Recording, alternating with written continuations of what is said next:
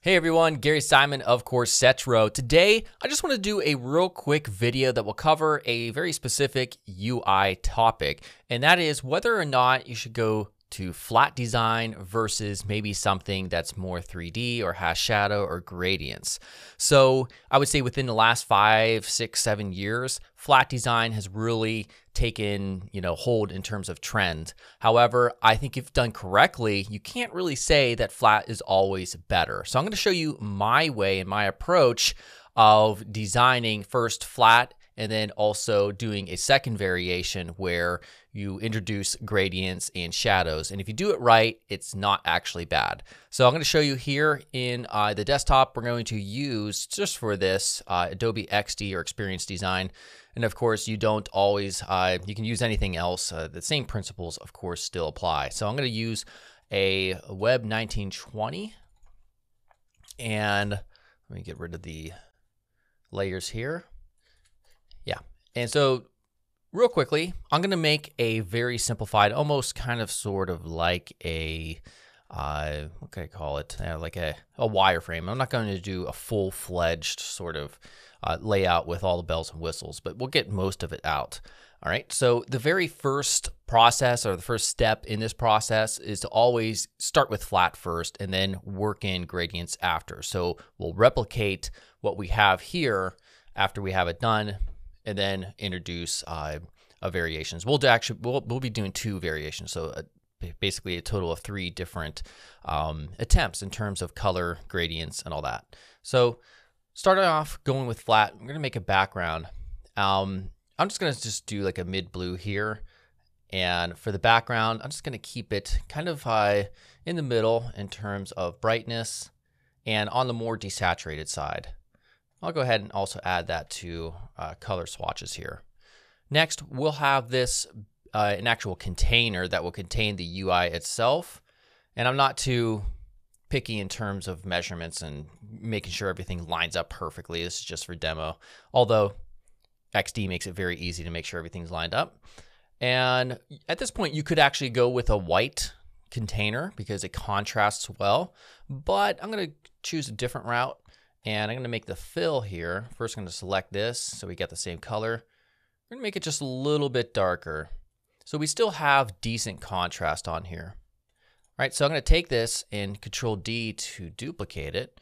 And we'll have kind of just like a vertical sidebar over here. So we'll make this stand out pretty well in terms of contrast for the background and this container right here. Okay, outside of that, I'm not going to do actual icons here. However, I will kind of simulate what it looks like when a given uh, icon is selected. So Control D. And I'm going to just make this all the way up there, and maybe change the hue just a tad bit. And there we go. So you can see it's very quick and easy if you know what you're doing uh, to create UIs. Um, so right here, I think I'm going to put in maybe like a label of some sort, like latest resources. You can't see that yet. I'm gonna make it white. I'm gonna use Montserrat, however you pronounce that. I have no clue. Uh, latest resources, something like here. Um, underneath here, we'll have just three kind of just container blips. I'm not going to actually put any content inside of them though. And uh, we're going to get rid of the border. For this, uh, let's go ahead and use this color. Um, I think that actually looks pretty decent, but maybe I'll change it up just slightly. Right around there. All right, cool. So now I'm going to go ahead and repeat grid, pull it out, and then We'll adjust it right around there. I think that looks pretty even. All right, and then I'll duplicate that, Control D, drag it down. And then we'll just put in, I don't know, some random label here of other. And then let me get out lipsum.com. We'll grab some filler text. We're just about done. All right, so then I'm going to left click and drag out an area for the type and then make it smaller. Secondary, we can go ahead and we'll make the fill, uh, let's see here, we'll get this color here, but we'll make it lighter. So it's not quite white, but you could still see it. Enough contrast. Okay, so that is it for the flat design, um, kind of just like a wireframe for this user interface. Um, so now at this point, let's say for instance, we want to experiment with actually adding, you know, going beyond flat and maybe adding a little bit of depth um, and maybe some gradients. So let's go ahead and control D the entire artboard.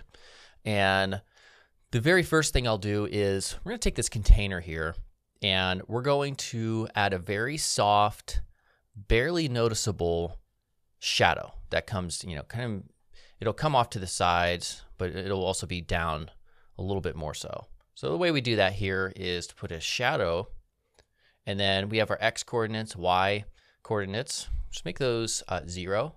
And then actually for the Y, we're gonna pull it down. As you can see, it's coming down but we're also going to blur the crap out of it. So we're going to drag that up. Okay, so as you can see right here, it's barely noticeable. However, it's it does give you a, a nice sort of effect when compared with the completely flat design on the left. So it would be silly to say that this would always be superior. You know, it's rather subjective. So um, let's continue on with this. One thing I don't want you to do though, when you're adding shadows onto pretty much anything, uh, pretty you pretty pretty much never add a shadow onto a logo in terms of like a nice soft a soft shadow like this. Um, but for almost any type of element, whether you're using, you know, you're designing for a user interface uh, or a poster design or any type of composition, what you don't want to do is this. That just looks like crap. it's terrible.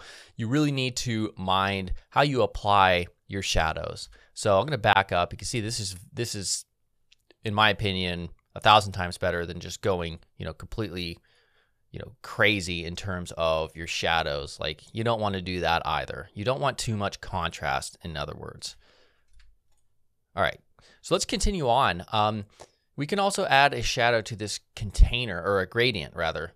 And so what we'll do is change from solid color to gradient. Now, let me first make sure we have this uh, color in the swatches because it's going to change up when we go to our gradient here. All right, so now we can see we can drag this around if we want. You know, if we want it to be 90 degrees, we can leave it as it is. Uh, we can also make it kind of more like 45 degree by dragging things over here. I think I'll do that. And so let's go ahead and make the first one the color that we started with right here. And then the second color picker we can experiment with. Um, we could start off, oops, yeah, right there. Um, let's try making it just a little bit darker. All right, so it's just barely noticeable. Once again, you know, if we were to do something like this, that would not look good. So something barely noticeable I think would work well. Um, we go back to gradient, I'm not really sure if I like the idea of going, uh, let me move, see if I can get this adjusted here. There we go. I, I think I might want to just stick with the 90 degree angle. And that seems pretty decent. Um, we can also experiment if we want with adding gradients onto this. So we'll try that. And again, there's really no right or wrong here, for the most part at least. So let's experiment. We'll take this color picker here and could go lighter even if you wanted to. Now, do you want to try adding a shadow on this. Now, this might be a little bit too much. So, again, there's a fine line between excessive and just right. So, let's try uh, maybe zero. We'll increase this. Maybe take the Y up.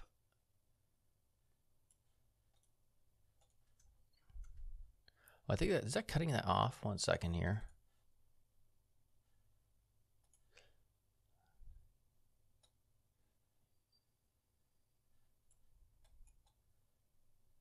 Oh, okay, yeah, the actual um, the repeat grid is cutting it off from the bottom. That's why that was not working. So instead, all I, I can do is this. I can take this. I'm going to, let's see here, ungroup the repeat grid. Yeah, there it is. Okay. And then I can just take these two and delete them. And then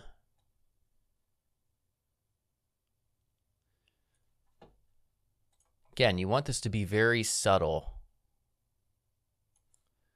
I'm at 5% opacity right there. All right, and maybe that's okay. We'll see. So I'm just going to um, take that repeat grid once again. And let's see here, just a little bit more. We want the alignment to be even from here to there, basically. All right. And so you could even try further. Let's say, for instance, you want to try added a gradient on here. Again, if you try to add it on too many elements, it might be just a bit too excessive, but it doesn't hurt to experiment. So maybe this one could be on a, a uh, 45 degree angle or so. We could take this, I don't know, maybe make it slightly different hue. Something very barely noticeable in terms of the gradient transition. Okay, so that right there would probably be ideal in terms of trying to add some depth and color variation to a user interface, um, especially when compared to this. So again, it's pretty much subjective at this point when we're comparing both of these in terms of which is actually better. Um, ultimately, to find out, you know, based on the project, assuming it's live, you can find out by doing a survey. Um, but we could take this a step further. Some other things you can do in terms of introducing more color with your user interfaces. So I'm going to duplicate this. And here's just a simple trick I'm going to show you real quickly. So let's just go to images.google and you can go anywhere that you can find free images that you want to use. I'm just going to type in something random like mountain. All right, so I'm going to go to tools, usage rights, and label for reuse with modification. So you can use this. And we're not even going to see mountains. You'll see what I mean in a second. Um, let's also change the size to exactly 1920 by 1080, which is our artboard size. And let's go ahead and um, I'll choose this one. All right, so I'm going to, on my other desktop, on my other monitor, I'm just going to copy and replace that, drag it onto the desktop, close this out, and then you can't see this part, but well, maybe I'll show you. Let me just uh, show you right here real quick. Just going to drag it anywhere onto the artboard. Make sure you don't have any other elements selected when you do that. All right, so now we can take this right here, drag it up to the full size, and then we'll go to our layers, drag it down to the very bottom. That kind of looks cool already, but I'm not done yet. Let's choose a rectangle tool. All right, and then hide the border. For now, the color I don't really care about, but let's put it right on top of that, uh, that photograph. And then we can choose background blur. Ooh, look how cool that is. So you can control the amount of blur. So if you don't want just a little bit, that's fine. If you want a ton, like in our case, you could do that too.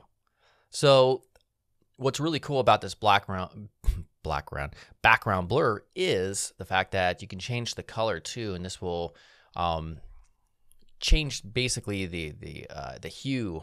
Uh, it, it'll it'll basically make it barely noticeable. So if we choose, if we change this to like a, um, let's see here, a red and the opacity, let's see here.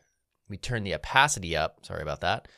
You can really begin to change the entire original image, if you will, depending on the uh, background amount for the blur.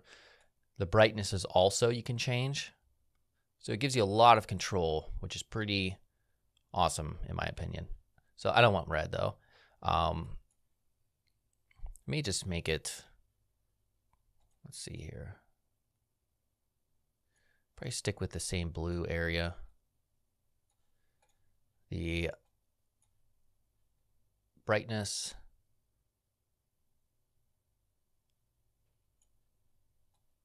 I think I may just take the opacity down all the way. Um, yeah, the brightness is too much.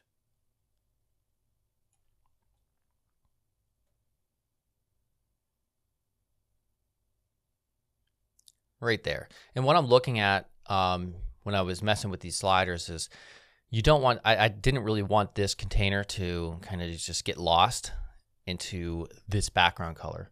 So if I were to select this again and I took that brightness down, you can see all of a sudden, ugh, you get this clashing of these hues right here.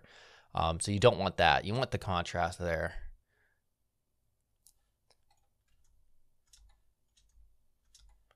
All right, so Again, uh, there's no 100% wrong way to approach this. Um, well, there is.